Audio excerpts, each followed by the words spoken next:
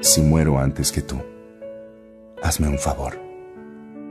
Llora cuanto quieras, pero no te enojes con Dios por haberme llevado.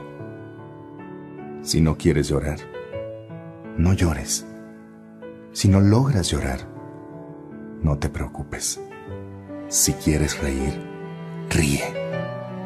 Si algunos amigos te cuentan algo de mí, óyelos y cree lo que te digan.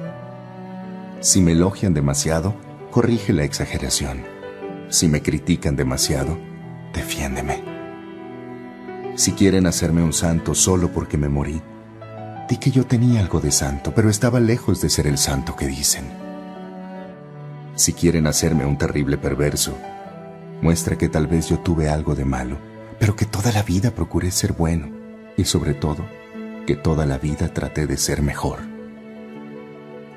Si sientes tristeza y deseas rezar por mí, puedes hacerlo, pues tal vez necesite tu oración.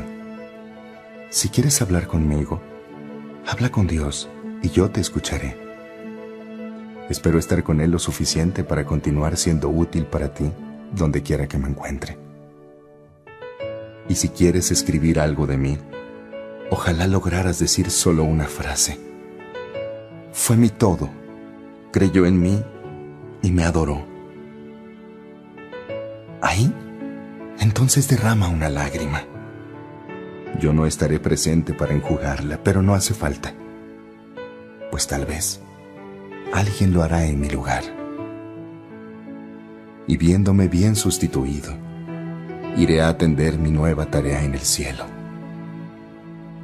Pero de vez en cuando, da una escapadita hacia Dios. Seguramente no me verás, pero yo estaré muy feliz viéndote a ti, mirando hacia Él.